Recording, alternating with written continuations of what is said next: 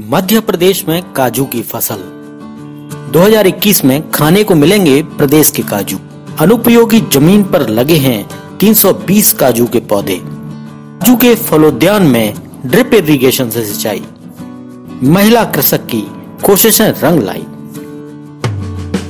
जी हाँ सही सुना आपने। अब दक्षिण भारत के बाद आपको मध्य प्रदेश के भी काजू खाने को मिलेंगे। देश के हृदय प्रदेश में काजू की फ़सल अगले साल तक बाज़ार में भी आ जाएगी। और काजू के उद्यान ऐसी ज़मीन पर लगाए गए हैं जिसका अभी तक कोई उपयोग भी नहीं था। हम बात कर रहे हैं मध्य प्रदेश के आदिवासी बाहुल्य ज़िले बालाघाट की।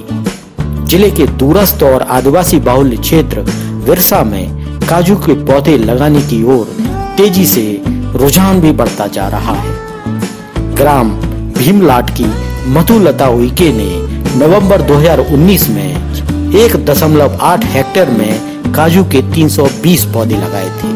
मधुलता की इन कोशिशों को देखकर अब क्षेत्र के और भी किसान काजू की खेती के लिए प्रोत्साहित हो रहे हैं।